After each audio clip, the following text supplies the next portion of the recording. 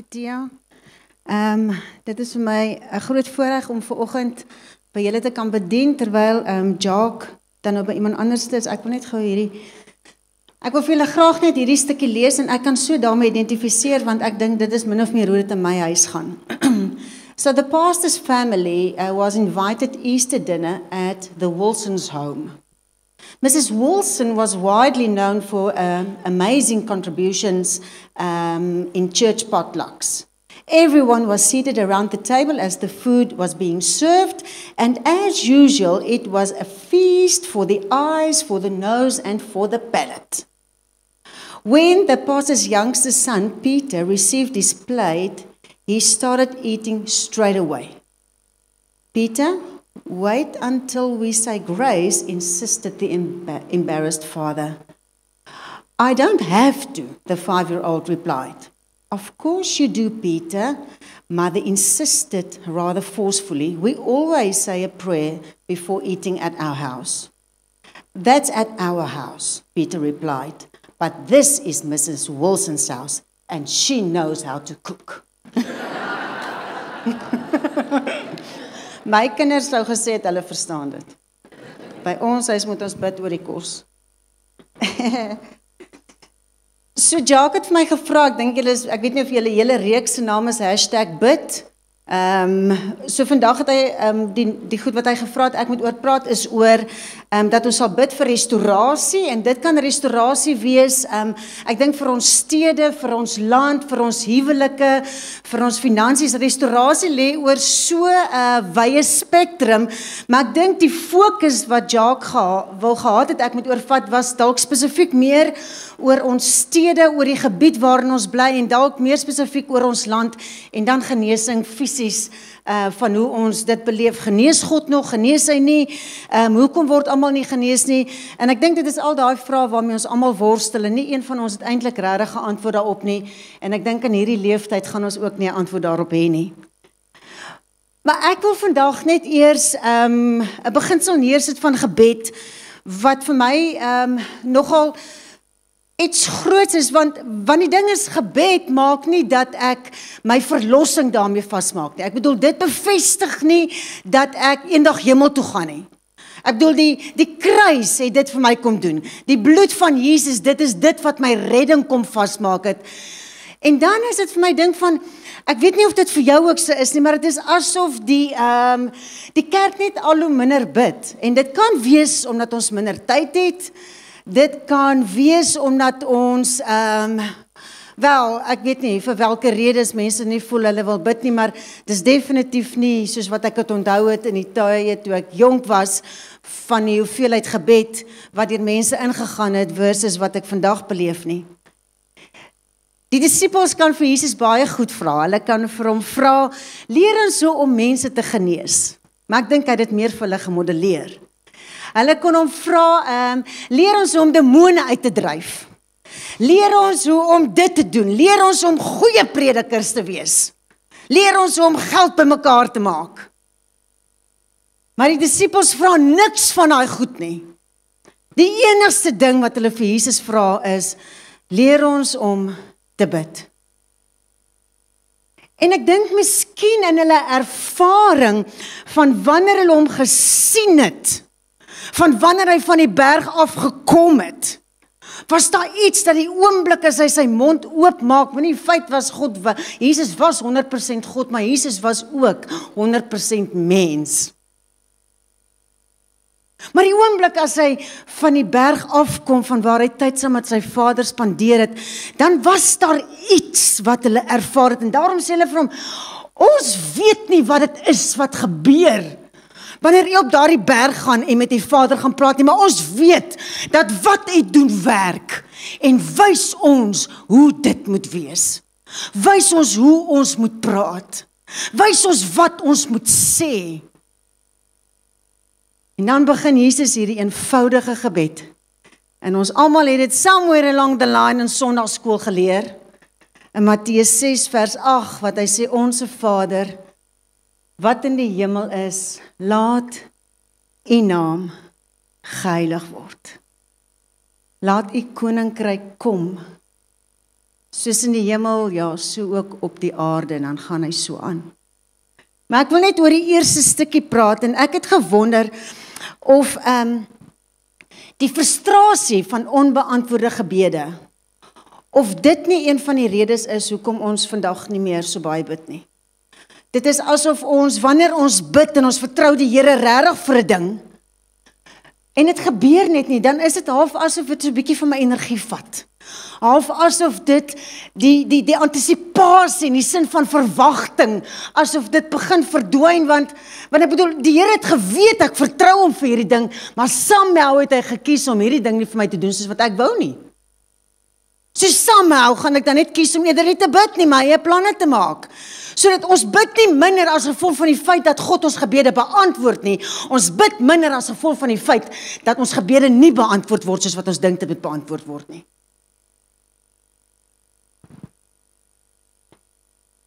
So as ons dan sou vra, ehm um, so wat gaan ek baat deur te bid? Dan dink ek vra ons vandag die verkeerde vraag. Want ek dink ons moet die vraag dalk net herfraseer en sê waarop gaan ek uitmis as ek nie bid nie?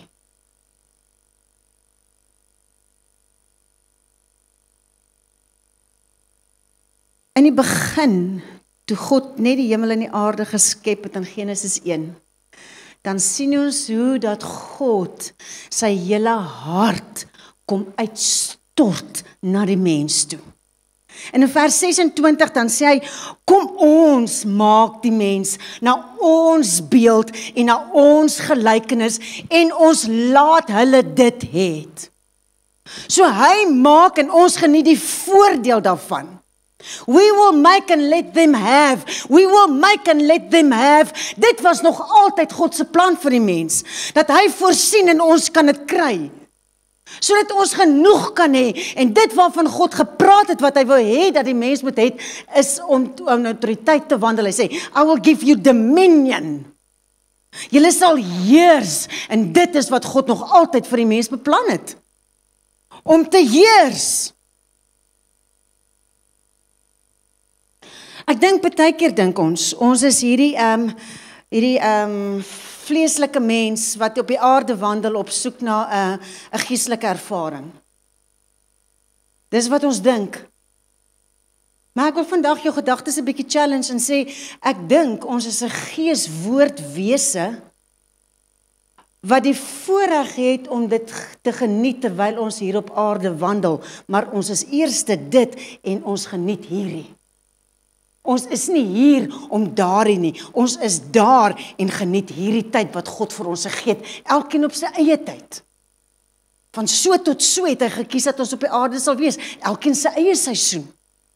Maar God sê jy's eerstens as jy 'n gees wese. En ek gee jou die voorreg om vir 'n tyd lank 'n seisoen die aarde te kom geniet en my heerskappy te vat en dit te gaan vestig daar waar ek jou sit vir die seisoen wat ek jou daar gesit het. Ek is nie hier geplaas. En ons het maar 'n mog getrof en God kyk of ek dit kan maak. Vir wanneer hy eendag kom om my te kom haal en boeta ek moet veg. Ek dink dit is wat ons dink baie keer dit is. Maar dit is nie dit nie. So Jesus kom en hy sê hy begin te bid van ons ons Vader wat in die hemele is.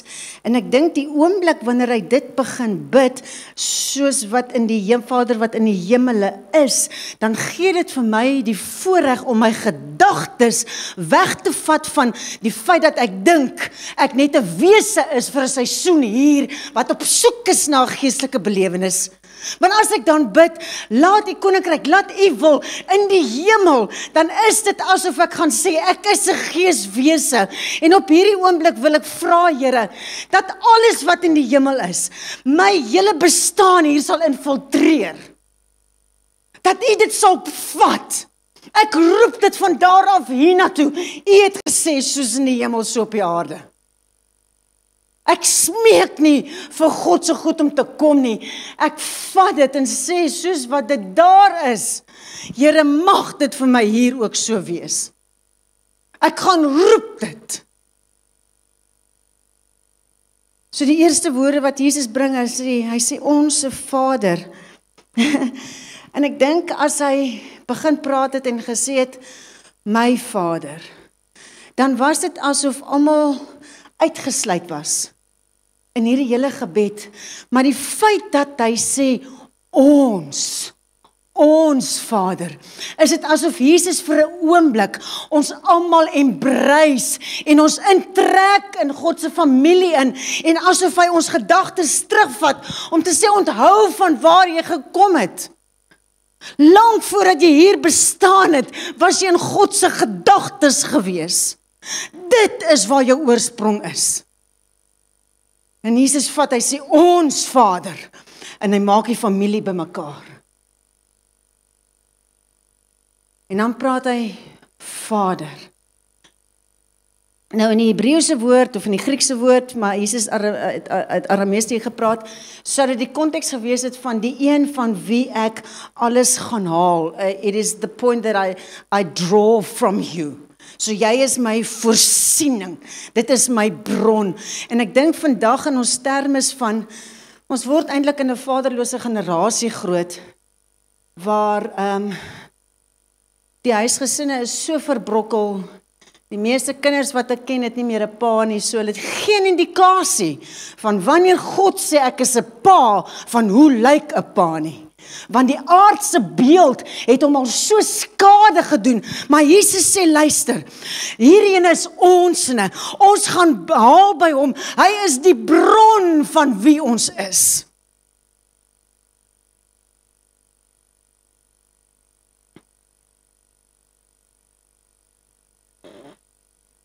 Psalm 103 en jy kan net so by hom gaan stil staan en ek bedoel jou jou hart sal net weer oorweldig wees.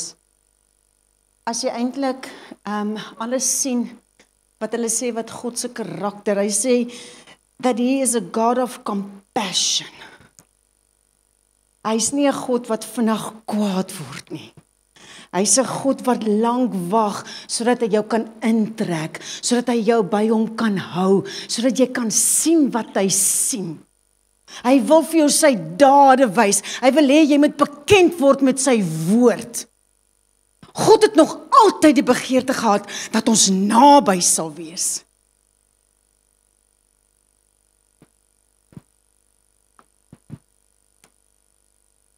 En dit is nogal moeilik as hy ehm um, en nou die Engels praat van hallowed be thy name. Ehm um, en dit ek dink vir ons is dit moeilik hoe hoe lyk dit hoe lyk hallowed be thy name.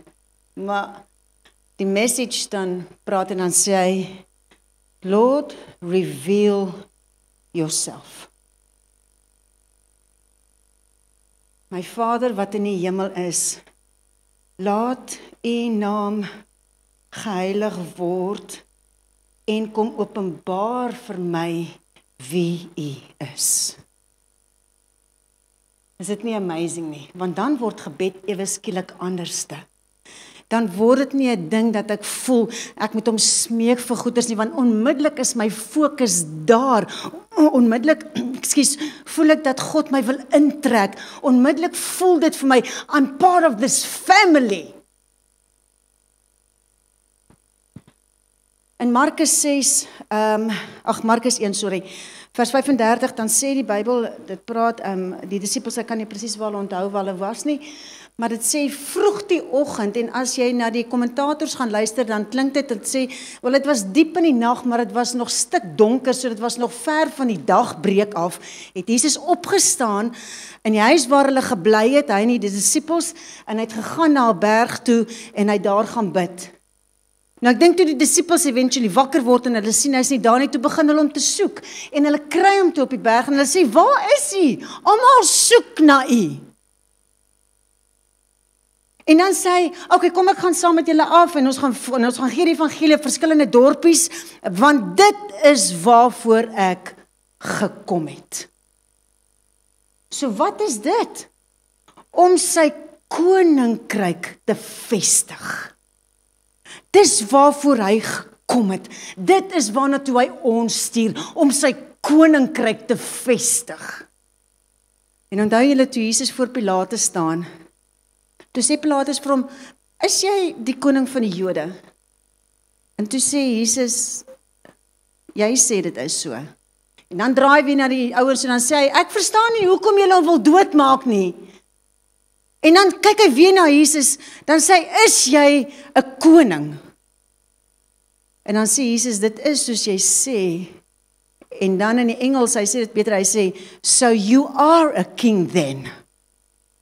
Asof Pilatus dit in sy hart wil vasmaak dat hierdie is 'n koning, maar Jesus sê my koning kryk is nie van hier nie, want as dit was, het mense vir my geveg, maar my koninkryk is van 'n ander plek. So hy kom as koning. Hy kom om sy koninkryk te vestig. En as ek en jy met ons gebed net eers te begin om daarin te tap, sal dit anders te lyk. Dit sal actually lekker wees om met God te praat. Want ek dink die meeste van die kere doen ons maar 'n verskriklike shopping list. En eintlik begin ons met hom te praat altyd maar as ons ietsie nodig het. En ehm um, dis min of meer dit en as ek niks nodig het nie dan het ek ook nie veel te sê nie. Hulle het eendag van Mother Teresa gevra toe sê hulle What do you say to God when you go in prayer? En sy sê I say nothing. Okay, how does God reply to that? He says nothing as well. Want sien dit is nie die hoeveelheid woorde wat ek gee nie.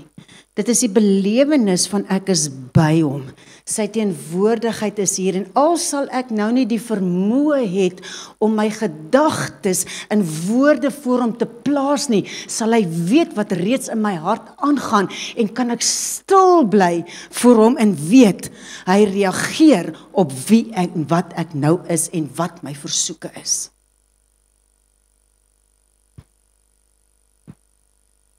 Jou gebed se krag lê regtig nie in hoeveelheid woorde wat jy vir hom sê nie. Partykeer kan ons net meer stil bly en eintlik net luister wat God sê. So as ons praat van restaurasie in die in die gedeelte wat ehm um, Jacques wil gehad het ons moet by stil staan is in 2 Kronieke 7 vers 14 in hierdie skrif dink ek almal ken hom En hy gaan so, so wanneer die volk wat my naam dra, hulle verootmoedig en bid en my weer soek en hulle afkeer van hulle bose lewens, sal ek in die hemel hoor, hulle sondes vergewe en hulle land gesond maak. Nou kyk aanvanklik vir my daai skrif klink vir my verskriklik erg.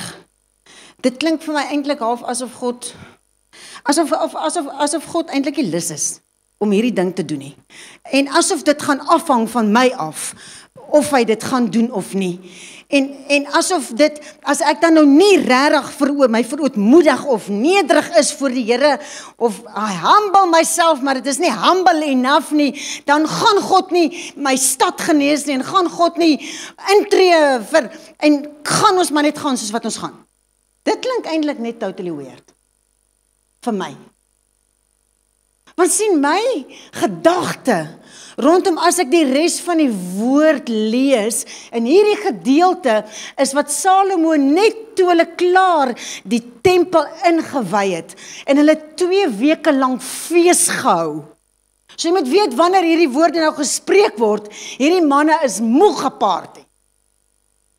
Dan kom daar 'n woord en sê dat as julle dit doen wat julle nou gedoen het. Bly julle konstant net by my. Hy sê ek wil julle land genees. Baie van die ander gedeeltes in Jesaja, hy sê soek die voorspoed van jou stad. Soek die vrede van jou stad. En ek sit gister en dink ek is al soveel keer oor hierdie vers. But how do hoe soek ek dit? Hoe soek ek dit? Want hy sê as dit met jou stad goed gaan, gaan dit met jou goed gaan. En dan wonder ek as ons in Doxodayo sê ons is city changers. Of dit dan nie ons elkeen se aandeel is in die wêreld of in die omgewing waar ek myself bevind om God se koninkryk na daai gedeelte toe te bring om sy vrede daarin te roep om met mense te praat en te sê weet jy hoe God oor jou dink? Weet jy wat so ongelooflike waarde jy in God se oë? Kan ek vir jou goeie goed vertel? Ons hoef nie vir mekaar ons sondes uit te lig nie. Ons is deeglik bewus daarvan. Moenie vir my sê hoe sleg ek is nie. Ek weet al my tekortkominge Maar ons wil mense wys konstant op dit wat hulle nie is nie, op dit wat hulle wat hulle tekort kom in plaas net dat as ek nie Jesus geken het nie en iemand kom sê vir my, weet jy, jy weet nog net nie wat hy van jou dink nie, maar die value wat jy in sy oë het, sal jy nooit verstaan nie. Dit sal my anderste na God laat kyk as wat ek nou kyk as iemand vir my sê, hoor jy moet nou op met jou jeentjies. And behave like a woman. Jy lyk soos 'n tomboy. Dis hoekom ek nou my hare laat groei het en 'n rok aangetrek het. uh, ons sien in soveel van ehm um, Paulus se briewe, dan sê hy onderwerp julle aan die gesag. Hy sê bid vir die autoriteite wat oor julle aangestel is.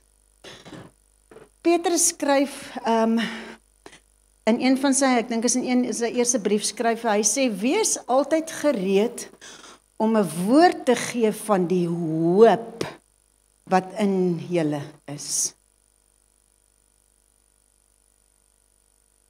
En baie keer as ek net dink, as ek na gesprekke luister, as jy baie keer net stil sit, jy praat niks nie, maar jy hoor wat mense sê, dan is dit kind of like ons het nie veel hoop nie. En baie probeer wegkom. So ons het nie hierdie ding wat ons kan sê tydig en ontydig laat ek jou vertel van die hoop wat in my is rakende my stad, my land, dit wat die Here oor my lewe geroep het. Want dan sal ek myself gee vir dit. Ek sal die vrede van die stad gaan soek. Ek sal 'n verskil maak daar waar ek is. Ek sal my omgewing, een persoon op 'n slag, sal ek beïnvloed en die Here vertrou vir 'n veranderde lewe. Want die behoeftes is so groot, maar een op 'n slag.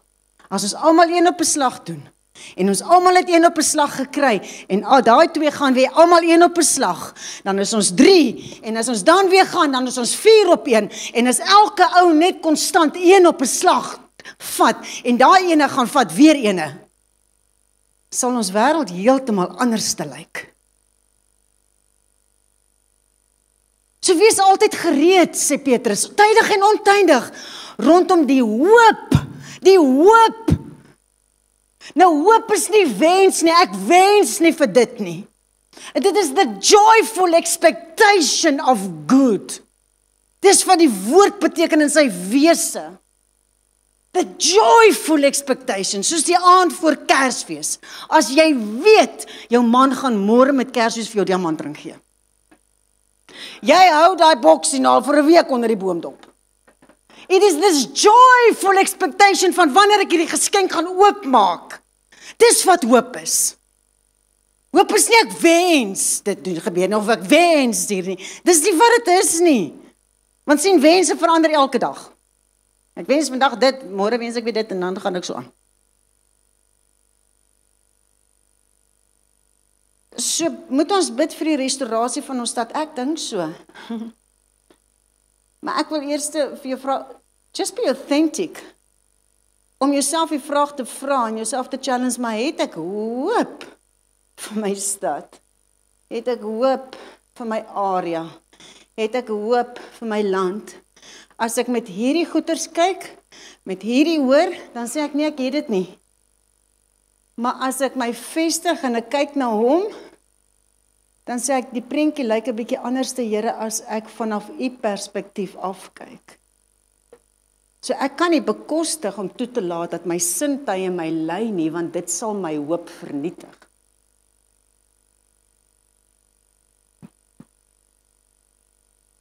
Dan die laaste gedeelte waaroor ek wil praat is oor genesing.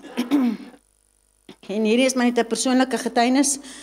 2012 het ek een oggend wakker geword en ek was ongelooflik moeg. My dogter was in help mekaar, so ons moes al haar half sewe by die bus gehad het want dan ry hulle in stad toe Johannesburg toe. So my gevolg is ek staan 5 uur op, maak vir haar 'n uh, lekker hoenderslaaitjie en dan wag ek tot sy klaar aangetrek is en vat ek haar bus toe en dan gaan gym ek en, en dan begin die dag. Maar sowieso hierdie oggend voel ek toe ek opstaan, toe voel ek, "Shucks, ek het net nie energie nie." En ek gaan maak haar kos en ek gaan na bed toe en ek vat vir haar 'n beker tee in die bed. En ek sê vir Blommetjie, as jy klaar aangetrek is, sê net vir mamma dan maak jy my weer wakker. Dan vat ek jou gou bus toe. Wat so gebeur? Toe ek terugkom, klim ek dadelik weer in die bed. Ek het net hierdie doodse moegheid. Ek voel ek wil sterf van moegheid.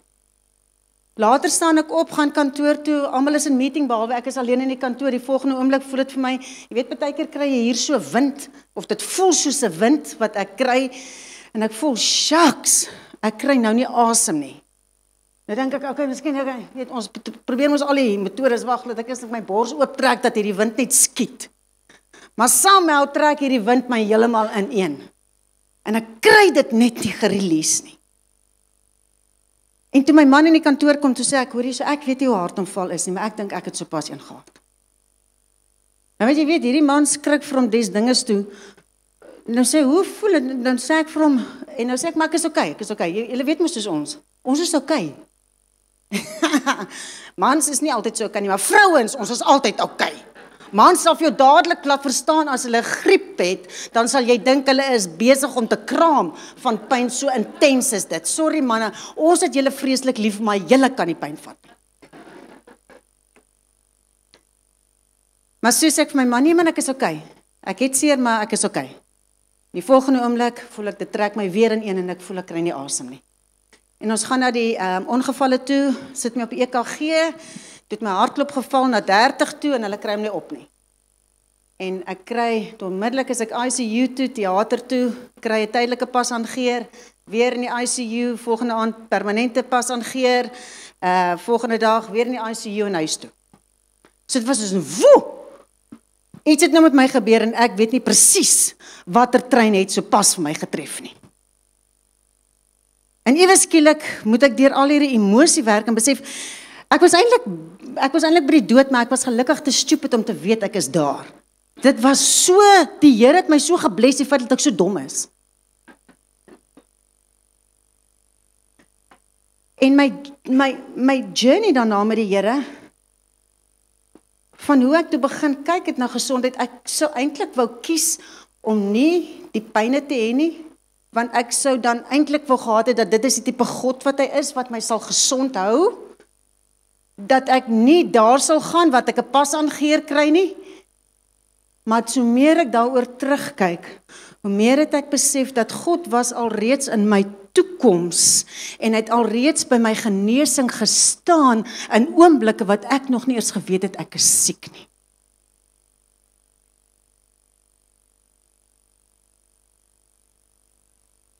En baie keer um, is ons liggame ons reageer op goeters en ons ignoreer hierdie tekens wat in my liggaam wys. En ons kyk nie altyd mooi na ons lyfies nie. Ons drink nie genoeg water nie. Ons um, eet, ons is lief. Ooh, ons is lief vir vir Burger King, regtig, maar dit is nie goed vir ons nie. Jy sien en ons druk al hierdie goed in ons lywe in En ons oefen nie eintlik nie en ons stres baie en ons werk hard en en al die goeters en somehow dan begin hierdie lyfie bietjie syne te gooi van luister all's not well. En dan jy verskillik met almal vir my bid en and which is good want Jakobus sê, hy sê as jy siek is, kry die ouderlinge bymekaar. Kom ons bid vir mekaar. En nou is dit tyd, ek bedoel daai oggend het ek nie geantisipeer nie. Ek het nie geantisipeer dat ek omtrent by die dood is nie.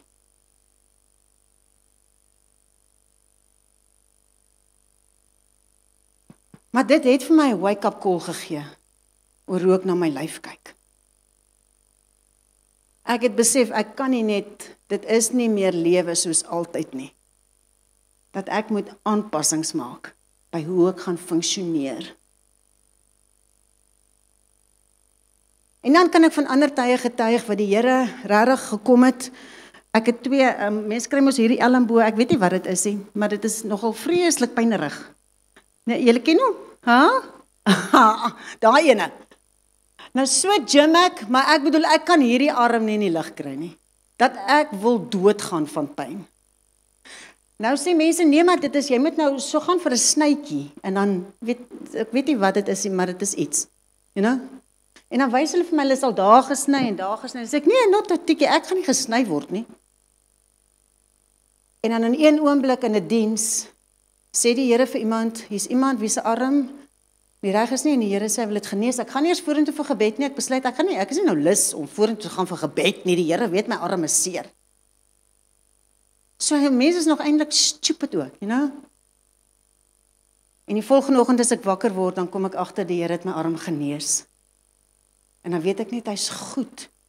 En dan kom daar weer ander tye wat wat ek hom regtig vertrou vir 'n wonderwerk wat my lyf van betref. En dan is dit asof die Here net hy kom nie deur vir my op hierdie ene nie. So Paulus skryf, hy skryf vir Timoteus, hy sê Timoteus, drink 'n bietjie wyn vir die aanhoudende maagpyn wat jy kry. Hy kon gesê het, luister Timoteus, ons moet nou bid vir jou genesing. Which it doesn't. Hy sê Kyk nou, ek weet hier in die Kaap moet mense sê drink wyn vir jou gesondheid nie, want julle gaan dit abuse. Ek weet julle gaan. ek sê net partykeer is dit nie soos wat ons dink dit is nie. En dan is dit ook oké. Okay, want sien my lewe is nog steeds in die hand van die Here. Vertrou kom vir alle fasette van genesing ek doen. As ek siek is dan vertrou ek hom dat hy my gaan gesond maak. Dis my eerste ding, want gesondheid is deel van die erfporsie wat ek het in hom. Partykeer doen hy en partykeer doen hy nie en dan weet ek nie hoekom nie. Maar dit maak nie dat ek minder in hom glo as nog steeds die ultimate geneser nie. So dankie dat jy my verdra het. Ek hoop #bid vir restaurasie en vir genesing. Al het ek nou net 'n getuienis vertel van my eie lewe. Dat dit vir jou sal hoop gee. Want dis eintlik al wat ek vandag wil kom doen is ek wil vir jou woord van hoop gee. Ek wil vir jou sê moenie laat die eksterne faktore jou hoop wegvoer nie. Het sy dit is vir jou liggaam, het sy dit is vir gesondheid, het sy dit is vir jou huwelik, het sy dit is vir jou finansies, het sy dit is vir vir jou werk, het sy dit is vir ons stad, het sy dit is vir ons land. Moenie laat die hoop in jou weggaan nie. But anticipate with joy the good to come. En weet jy wat al sal dit ons net in ons Here aan nie sien nie. Wil ek nie hê dat as ek by die Here kom, dat ek geweet het ek 'n hele lewe geleef het sonder hoop nie. Daniël is weggevoer. En Jeremia sê dat jy sal vir 70 jaar in ballingskap wees in Babylon. En Daniël is die een wat elke dag bid hy 3 keer. En intussen is van die ouens al weer terug Jerusalem toe, maar Daniël sterf in Babylon. Somehow het God nie gekies dat hy uit die land uit moes gaan nie. Dit was sy missie vir sy tyd waarin hy was. En daarmee sê ek nie dis verkeerd nie. Ek sê net waar jy jouself bevind, hê hoop vir daar. Hê hoop vir jouself. Weet dat God is daar vir jou. Weet dat God is in jou toekoms, God is in jou verlede, God is waar vandag is. Maar God is daar.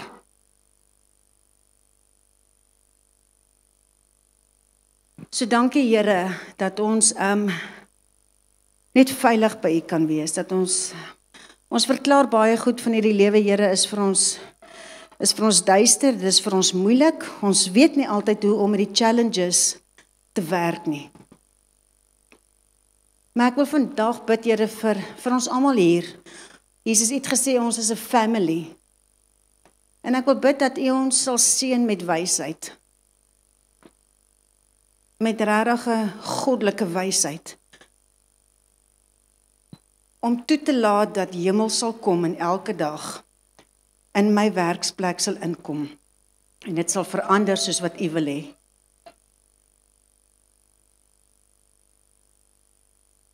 As ons nou Here um, nagmaal gaan gebruik, dan voel ons so bevoordeel want dit bevestig net weer eens dat ons deel is van U Jesus. En wanneer ek daar is en ek het dalk siekte of ek het krisisse, Here, dat ek net by U gaan staan, Here, en weet dat U weet. U weet. En U sal my nie alleen los in die omstandighede nie, want U weet. Ek dank U vir dit in Jesus naam. Amen. Dankie Antoinette, dit was dit was 'n voorreg om dit te hoor. En baie keer wanneer ons op hierdie oomblikke kom en ons hoor so boodskappe, ons dink vir onsself, "Jesus Here, jy het ingetree in haar lewe, maar hoekom doen jy dit nie vir my nie?" Ek hoor hier amazing stories waar jy wonderwerke gedoen het in mense se lewens, maar hoekom sien ek dit nie in my lewe nie? Ek sit met 'n besigheid op hierdie oomblik wat ek sien nie dat dit floreer nie. Here, hier is my besigheid, dis my eiendom. Dis dis iets wat ek vertrou dat dit sal flourish. Maar ek sien nie dat dit gebeur nie. Dalk het jy verlies ver oggend en jy sê, Here, ek het hierdie pyn binne in my binneste en ek weet nie hoe om oor dit te kom nie. Ek vertrou jou daarvoor, maar niks gebeur nie. Hoekom nie? Dalk is daar iemand in jou persoonlike lewe wat jy die Here voor vertrou dat hulle 'n verhouding met hom sal hê of daar's iets wat in hulle lewens gebeur wat jy die Here sou voor vertrou en dit gebeur nie. Jy raak kwaad vir die Here. Soos Here, hoeveel keer moet ek hieroor bid? Hoeveel keer moet ek na U smeek?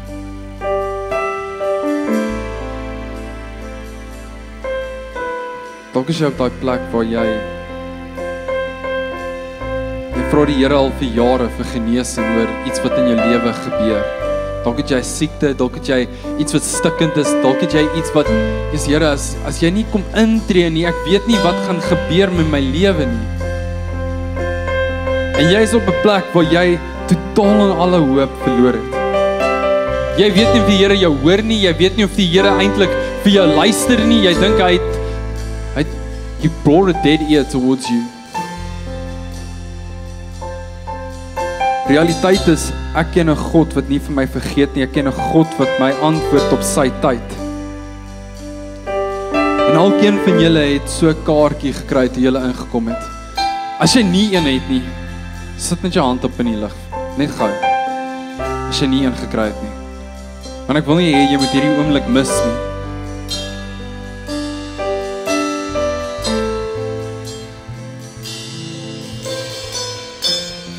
En hier's wat ons vanoggend gaan doen. Daar's vier stasies hier in die auditorium. Op my regterkant is vir genesing. Agter in die auditorium is vir besighede. Daar langs ons streetstopboks verlies. En hier op my regterkant is verander. En ek wil jou vra om vorentoe te kom en wanneer jy vorentoe kom om hierdie kaartjie te vat en die omgewing wat jy die Here voor vertrou. Dalk is dit meer as een.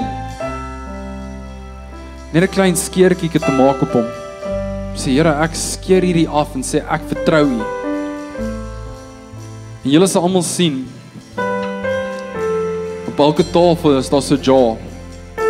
En ek wil hê jy moet daai kaartjie daar binne insit. En wanneer jy dit doen, wil ek hê jy moet jou nagmaal ook saam met jou vat. En hou dit. Moenie dit moenie eers op nagmaal vat nie, want ons gaan op die einde gaan ons almal saam nagmaal hê. Maar waar ek vertrou vir oggend is that God will become your way maker. Your promise keeper. Your light in the darkness. That even when you don't see it, he's working. Even when you don't feel it, you know He is still working. Because I don't believe in a God of, of leaving me behind. I believe in a God who walks a journey with me every single day. And I want to share a passage of scripture that touched me so much when I was preparing for today. Colossians 3, verses 15 to 17 says, Let your heart always be guided by the peace of the anointed one who called you to peace as part of his body, and always be thankful.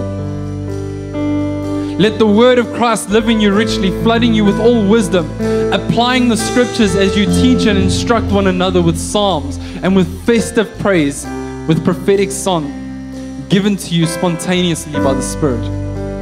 To sing to God with all your heart. And then he goes on and he closes off with this and he says, Let every activity of your lives and every word that becomes from your lips be drenched with the beauty of the Lord Jesus Christ, the Anointed One. And because your constant praise to God, the Father, because of what Christ has done for you. Kom ek sê vir jou hierdie. Dalk is jy op 'n plek waar jy sien dit nie realiseer op hierdie oomblik nie.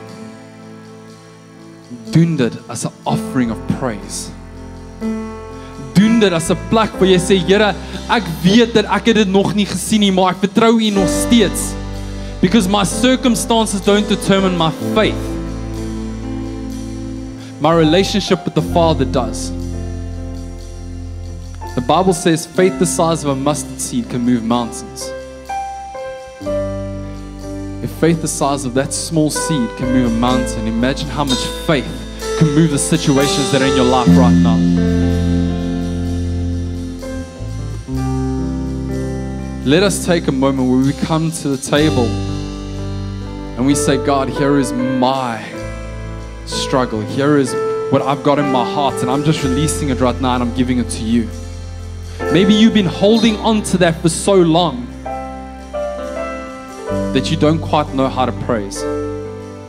May this morning be your praise moment as you release it and just give it over to the Father.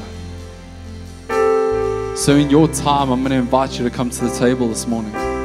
That the table will become a place of victory, not sorrow, but victory. And we're going to sing this morning one of the most powerful songs that I've heard in a long time, where it says, You are the waymaker, the promise keeper, the light in the darkness. And later on, it says, Even when I don't see it, you're working.